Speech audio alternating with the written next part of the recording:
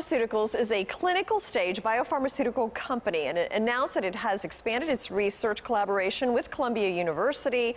This collaboration is focused on studying the immune responses to COVID 19 in healthy volunteers who have recovered from COVID or were asymptomatic. So, with me is Seth Lederman, the CEO of Tonix Pharmaceuticals. Great to see you in person. so, I'm glad to be back in person. Yes, Thank great. you, Jane. So, um, you recently announced that you've received FDA guidance regarding the COVID 19 vaccine in development, TNX 1800. I feel like I've talked to you so many times. I feel like I've kind of lived this with you. Um, this creates a clear path for you to move forward with it. Kind of explain what this means. Sure. Thank you, Jane. The Operation Warp Speed vaccines were very successful, but now they're showing their limitations. The biggest limitation is durability and the need for boosters every six to eight months. That really can't go on forever. The second limitation is their ability to protect against forward transmission, meaning the ability of one person to infect another. They don't seem to be blocking forward transmission. And then there's the expense, the cold chain, the rest of it. So we think our vaccine is a very important alternative. Ours is a live virus vaccine. We're really one of the few companies still working on a live virus vaccine. Merck was working on two live virus vaccines, but they abruptly discontinued both of their programs. So we think that ours has the promise to provide more durable protection, and to block forward transmission and to do it more economically in a way where truly the world could be vaccinated. Interesting. Because I have to give you credit. Early on, you were talking about how these vaccines may need supplements, uh, you may need some things. And so you were really, because we've seen breakthrough cases and things like that. I mean, I'm not trying to diminish it because they've been very important to um, us getting through this. But so that's interesting. So you talked about the live virus vaccine. How else does it differ from the vaccines, the mRNA that we're seeing? Well, Operation Warp Speed, just look at the name, speed, mm. and it was great. I mean, you and I are sitting here because we're vaccinated. So I think it was the most successful public private partnership in modern history. Mm. But a live virus vaccine takes longer to develop, and a live virus vaccine stimulates T cell immunity. There are really two kinds of immunity T cells and antibodies. Antibodies are short lived, and that's why there's this requirement to, to boost the mRNA vaccines and the adeno vaccines from Johnson & Johnson. But our live virus vaccine, we expect, will provide more durable immunity.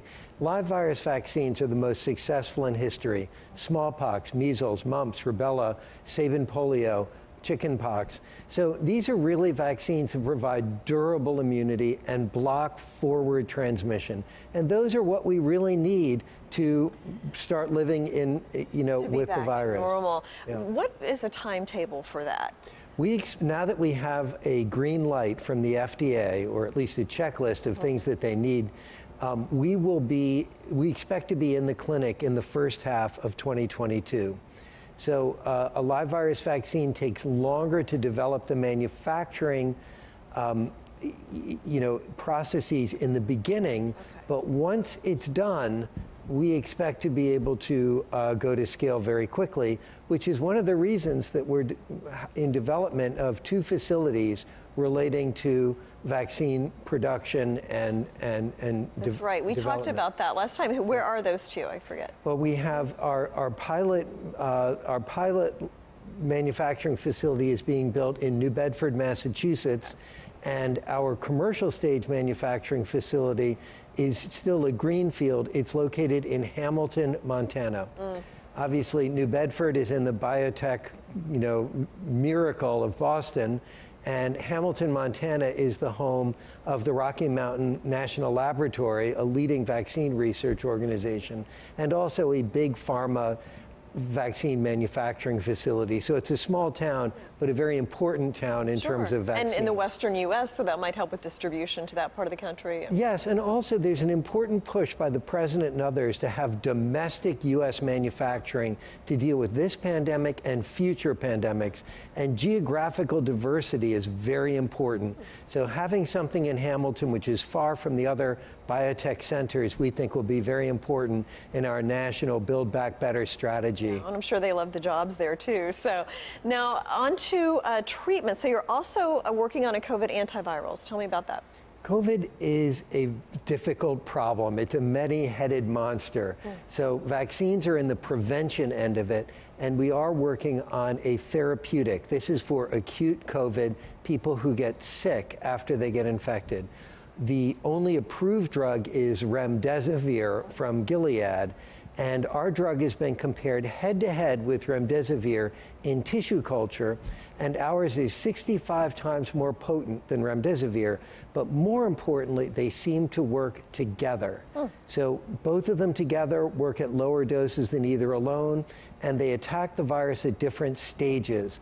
So we think that a combination treatment might be very important down the line. Interesting. So is it um, intravenous, right? Because remdesivir is, yeah. it is also intravenous. There's a lot of talk about oral antivirals, and someday we think that ours will be oral. I'm sure Gilead is working on oral versions of remdesivir, but the important thing is to get something that works intravenously and then use medicinal chemistry to advance it to the stage where it can be delivered orally. That's the normal progression of drug delivery. But what we need now is we need things that work. Yeah. So uh, while intravenous may be a little bit of a a uh, impediment long term. Yeah. Short term, what we really need is Something drugs that work. And that's where you have to start the process. Exactly. So, okay, so let's talk about this Columbia University collaboration. Um, you're working on identifying biomarkers for protective immunity against COVID. Talk about that a little bit. Yeah, well, from the beginning, as you said, thank you for remembering our long conversations about this topic. But I was a professor at Columbia Medical School for about 20 years, and I worked in the area of immunology. And um, from the beginning, I have said, and our company's position has been that T cell immunity is important in fighting viruses. So T cells and uh, the antibody immune systems uh, speak to each other, and my work at Columbia uh, was very important in that. It's called the CD40 ligand, how uh, the, the T cell and antibody speak to each other. But the most important thing is to figure out how T cell immunity can protect us. Because in the end of the day, what's going to protect us, I hope, from COVID is T cell immunity. So we're characterizing that with scientists at Columbia University and how it interacts with the antibody immunity. T cell immunity is longer lasting. It can last decades, even lifelong immunity. And the other thing is that T cell immunity is known to block forward transmission, an important limitation of the existing vaccines. Another advantage of T cell immunity is that it's harder for the virus to evade it by mutations. A lot of the mutations you're seeing now, for example, in the Delta Yeah. variant that has all of us so concerned, appear to be mutations that have evolved to evade antibody responses, whereas it's much harder for a virus mm-hmm. to evade T cell responses. Okay. Well, best of luck, and please keep us posted on all this, Seth. It's all fascinating. So, Thank you for having me back, you.